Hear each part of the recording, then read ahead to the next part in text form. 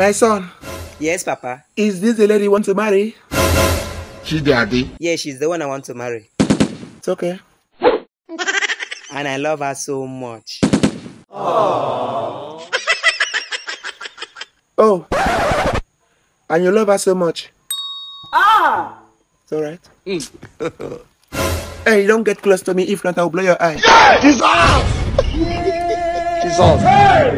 My son, you want to get married to this girl that looks like hippopotamus? Wait. Are you sure she even have a nyash? Ah, Papa, which kind of question be that one now? You have a nyash? Let me see, turn. Oh, let me see.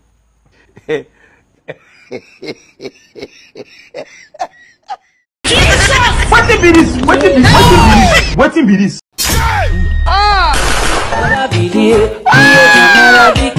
I'm very stupid. I'm very foolish.